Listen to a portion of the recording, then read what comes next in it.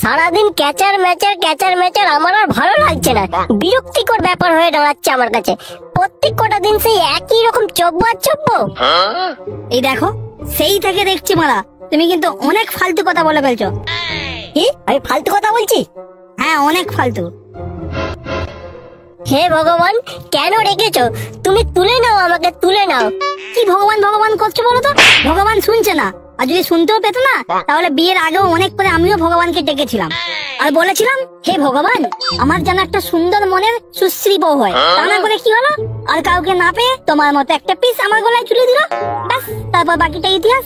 সুশ্রী বউ হওয়ার বদলে তুমি আমার প্রতিদিন পিছনে সুশ্রী দিয়ে আরম্ভ করলে। কি সুস্থুরি মুস্তুরি কথা বলছো বলো তো তুমি? তোমার পিছনে আমি সুস্থুরি দিই? এই যে হ্যালো তোমার কি বলছি? কোয়ালিটি দেখো বস তুমি জানো আইবুড়ো বেলায় আমার কত ডিমান্ড ছিল? স্কুল থেকে শুরু করে কোচিং থেকে শুরু করে কলেজ পর্যন্ত একটাই নাম ছিল, সেটা আমার নামই ছিল। হ্যাঁ জানি তো, তোমার নামের অনেক ডিমান্ড ছিল। তোমার কোয়ালিটিও ছিল। বলছি কি স্কুল কলেজ কোচিং পর্যন্ত কি তোমার ডিমান্ড সীমাবদ্ধটা ছিল? নাকি এই ডিমান্ড বাঁশবন, কচুবন ললবন পর্যন্ত গড়িয়েছিল? ছি ছি ছি ছি, নিজের বউয়ের সম্পর্কে এতটুকু বাজে কথা বলতে তোমার মুখে বাঁধলো না? রইল বাল তোমার সংসার করে আমি চললুম আমার বাপের বাড়ি। মোর, তুই তোর সংসার নিয়ে আমি চললাম। সালা যার জন্য চুরি করি সেই বলে চোর। রে, কেস খেয়েছে রে।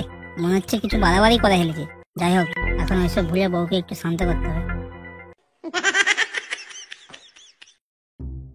এই, কিছু হলেই কেন সবসময় বাপের বাড়ি বাপের বাড়ি যাওয়ার কথা কেন বলো বলো আরে বাবা, শোনো না এত রাগ করছ কেন? আমি তোমাকে এমনি জাস্ট রাগাচ্ছিলাম। আচ্ছা একটা কথা বলো আমাকে। সারা দুনিয়া যদি আমি তন্ন তন্ন করে খুঁজি, তোমার মতো একটাও কথা বউ পাবো? আমি জানি কোথাও পাবো না। তুমি আমার শোনাবো থাক, আর তোমাকে সোহাগ মারাতে হবে না।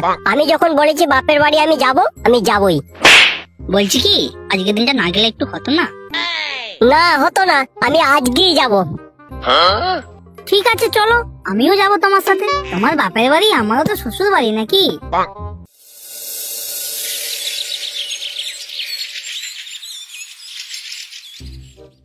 তাহলে শেষ পর্যন্ত বাপের বাড়ি চলেই আসলে?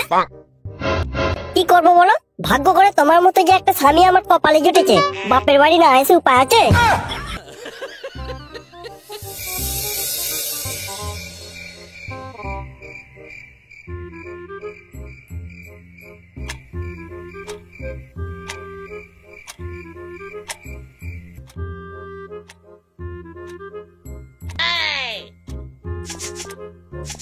এই শোনো না।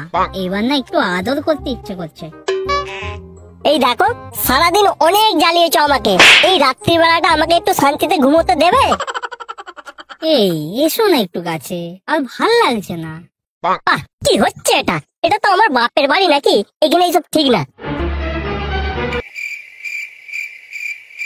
আচ্ছা এটা তোমার বাপের বাড়ি? তাই এখানে ওইসব করা ঠিক না। তাহলে একটা জিনিস আমি বুঝতে পারছি না। বাবা আমার বাড়িটা কি ছিল, সোনাগাছি?